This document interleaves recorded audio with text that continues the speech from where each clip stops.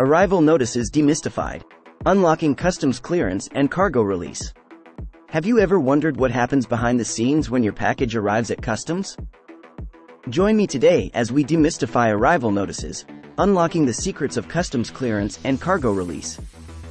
When a shipment arrives at customs, an arrival notice is issued to notify the consignee that their cargo has reached its destination.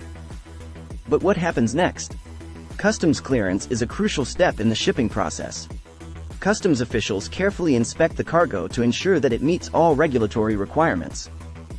This process can vary depending on the type of goods being imported and the regulations of the destination country. Once customs clearance is complete, the cargo is released for delivery. But this is not the end of the journey.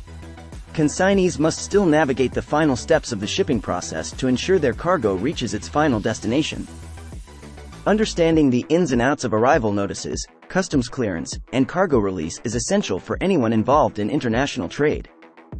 By demystifying these processes, we empower ourselves to navigate the complexities of global shipping with confidence. So the next time you receive an arrival notice for your shipment, remember that it's not just a piece of paper, it's a key that unlocks the world of customs clearance and cargo release.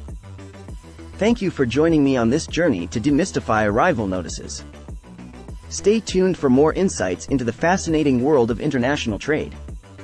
Like, subscribe, and share to spread the knowledge far and wide. Until next time, safe travels and clear skies.